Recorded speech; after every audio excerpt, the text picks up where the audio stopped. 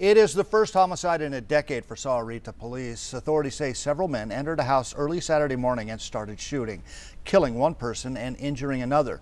News 4 Tucson's Lupita Murillo has more in tonight's Crime Trackers report. The mobile home behind me is where Sahuarita police say that several armed men went into the house wearing masks. This happened about 2 o'clock Saturday morning. There were multiple victims inside of the house that were victims of this home invasion. Neighbors told News 4 Tucson they didn't hear a thing. It wasn't until the police showed up that they realized what happened. One neighbor says typically the mobile home had seasonal workers that stay there off and on. Immigration status of our victims is not a concern of this department. It uh, is irrelevant as far as we're concerned. Um, we're going to investigate to the best of our ability and bring these people to justice. Sahuarita police say that no arrests have been made, and if you have any information, you are urged to call the Sahuarita police tip line.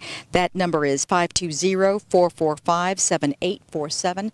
Again, that number is 445-7847, or if you want to remain anonymous, call 88-CRIME. In Sahuarita, Lupita Murillo, News 4 Tucson.